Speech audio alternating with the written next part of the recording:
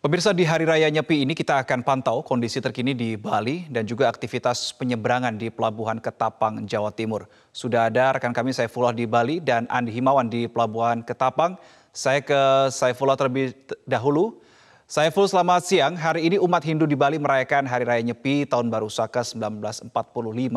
Bisa Anda gambarkan seperti apa kondisi terkini di Bali, Saiful? Ya, Reno, terima kasih. Selamat siang. Eh, seperti yang dikatakan tadi bahwa hari ini umat Hindu Bali merayakan Hari Raya Nyepi menyambut Tahun Baru Saka 1945.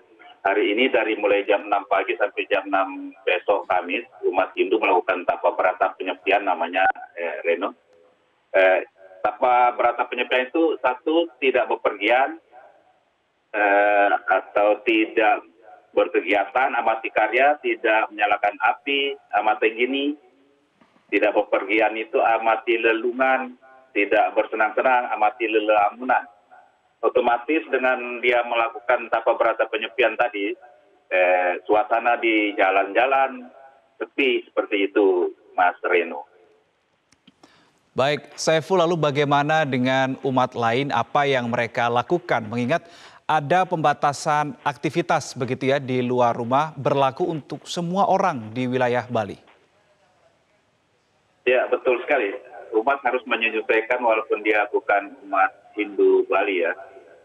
Jadi mereka walaupun di dalam rumah, mereka tidak boleh menyalakan lampu atau bunyi-bunyian eh, seperti hari-hari biasanya. Termasuk di hotel. Di hotel juga ada pembatasan-pembatasan.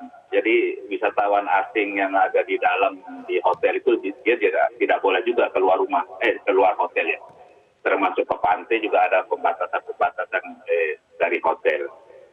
Eh, seperti itu mungkin Mas Ren. Baik, terima kasih Saifullah untuk informasi Anda langsung dari Bali. Kita beralih ke Andi Himawan yang saat ini sudah berada di Pelabuhan Ketapang. Selamat siang Andi, bagaimana kondisi terkini di Pelabuhan Ketapang? Apakah penyeberangan masih terpantau di sana? Ya, dapat kami laporkan di Pelabuhan Ketapang Banyuwangi Jawa Timur, jalur penyeberangan Jawa Bali, kondisi terkini uh, pelabuhan Ketapang masih dalam kondisi uh, ditutup uh, aktivitas penyeberangan dari Jawa ke Bali untuk menghormati perayaan Hari Raya Nyepi umat Hindu yang ada di Bali. Penutupan aktivitas penyeberangan di Pelabuhan Ketapang Banyuwangi ini terjadi sejak uh, tanggal 21 malam uh, tadi mulai pukul 23.00 WIB dan akan dibuka besok tanggal 22 Maret uh, pada jam 04.00 WIB.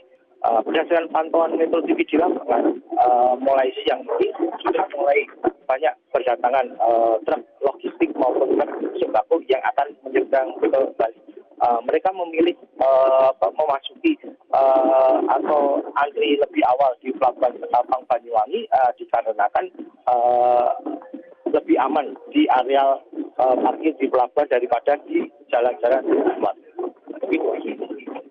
Oke, berarti meskipun ditutup untuk hari ini, tetapi masih ada kendaraan yang datang pada hari ini ke Pelabuhan uh, Ketapang ke, untuk kemudian menyeberang di esok hari. Seperti apa Andi antrian kendaraan di sana? Apakah cukup panjang atau hanya beberapa kendaraan saja yang tiba di sana? Berdasarkan pantauan metode TV uh, mulai tadi pagi hingga siang ini uh, sudah beberapa truk uh, lebih sekitar 50 truk uh, ukuran sedang dan ukuran uh, besar sudah uh, antri uh, lebih awal di area parkir dalam pelabuhan. Uh, sementara untuk di uh, pelabuhan uh, Petapang Manu ini atau di, di uh, pelabuhan Petapang uh, untuk penutupan hanya untuk di uh, jalur jarak pendek atau uh, penyeberangan Jawa Bali. Sementara untuk penyeberangan uh, ruang Lombok atau Petapang Lembar uh, itu masih dibuka untuk hari ini dan dilayani oleh enam uh, armada kapal. Baik, terima kasih Andi Himawan untuk informasi Anda langsung dari Banyuwangi, Jawa Timur. Dan sebelumnya juga ada rekan Saifullah yang melaporkan langsung kondisi nyepi di Pulau Dewata pada hari ini. Selamat kembali bertugas teman-teman.